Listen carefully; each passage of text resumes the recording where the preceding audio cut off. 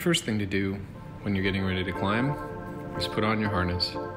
This harness is a rock climbing harness and it has two hard points, so the belay loop never comes separated from the waist belt.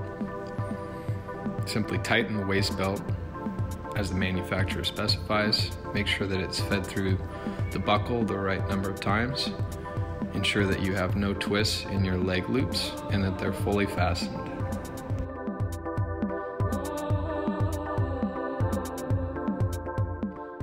Another kind of harness is an alpine harness.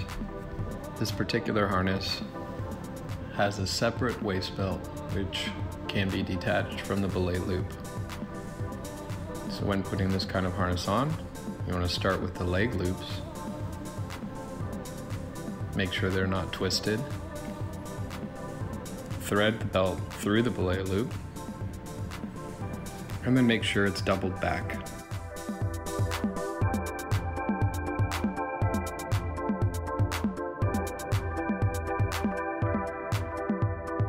Step two is to clip your large locking carabiner through your belay loop.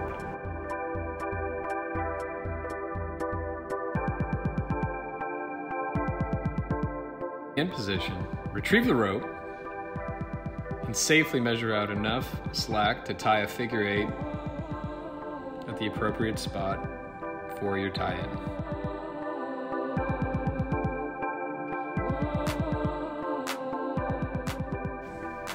Feed the end of the rope through both hard points and cinch the knot. Finally, Retrace the knot with the end of the rope.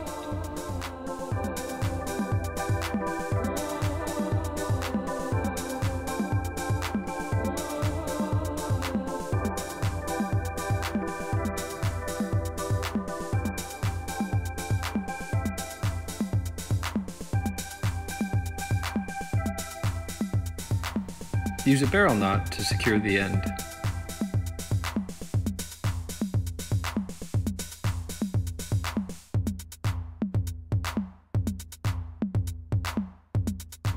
Clean up the knot so that you can count every strand and count 2, 4, 6, 8, 10.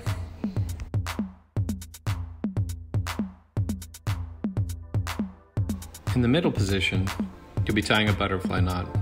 Take the rope and wrap it around your hand three times. Then take the outermost strand, move it to the middle, and then take the next outermost and wrap it all the way through. When you pull the rope tight, it should not slip. clip the butterfly knot onto your locking carabiner and press the gate to make sure it's locked.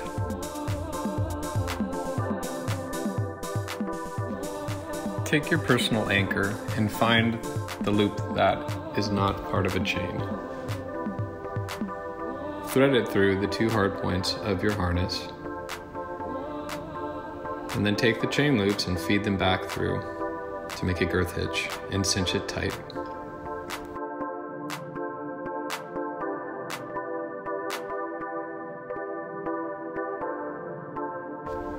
Add one locking and one non-locking carabiner to chain loops. Then, pull the loops around behind your back and fasten them on a gear loop.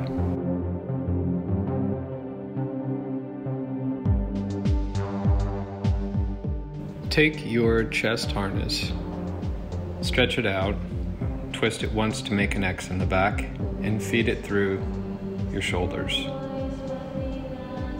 Take a non-locking carabiner and bind each edge together.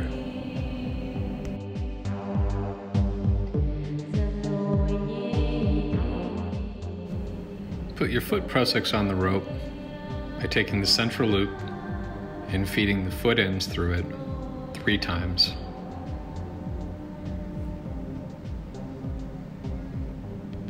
Then clean the knot up so that you can see all the loops and test it to make sure that it binds when you pull down.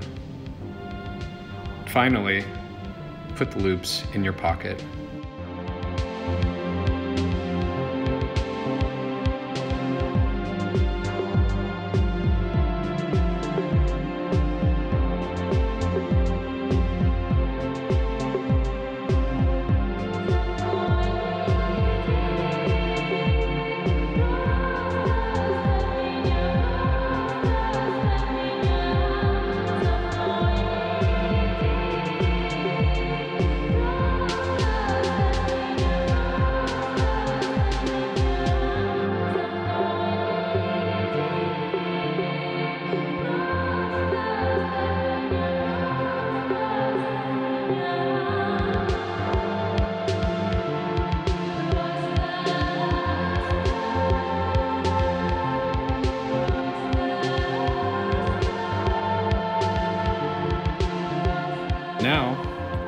Your harness prusiks on the rope. If you're the middle tie-in, make sure this is on the other side of the butterfly knot from the foot prusiks.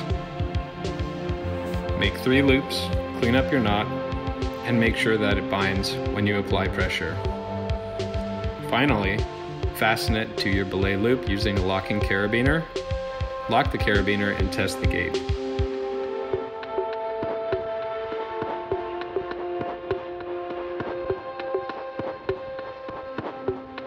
For the end tie-in, make sure that you put your harness prusik on the rope above the foot prusik.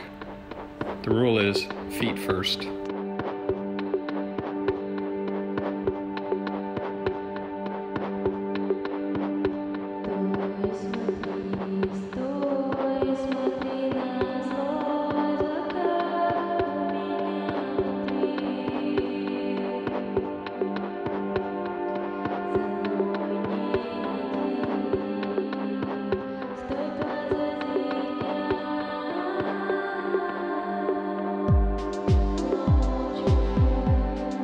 You fasten it to the rope, attach it using a locking carabiner, lock the gate, and test it a few times.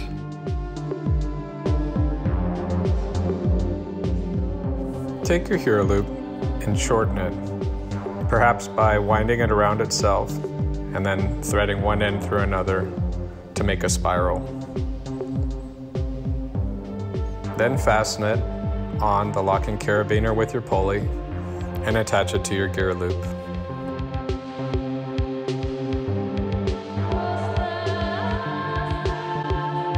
Secure your belay device with another locking carabiner on a gear loop.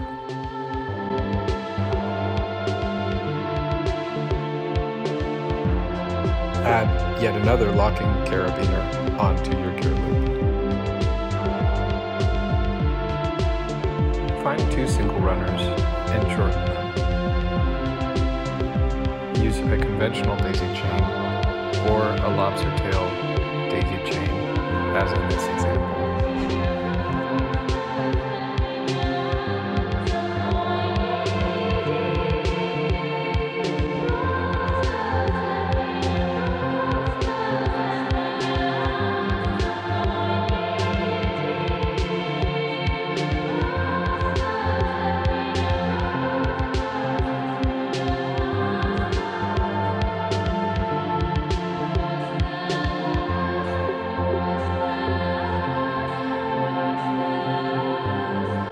you shorten your runners, put them on a non-locking carabiner and make sure the tails are short. Then clip them on a gear loop.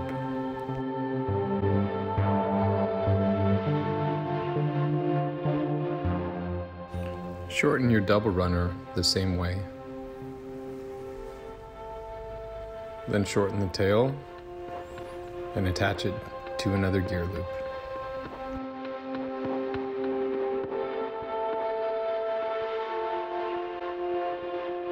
Finally, take your final single runner and use a girth hitch to secure it to your pack's haul loop.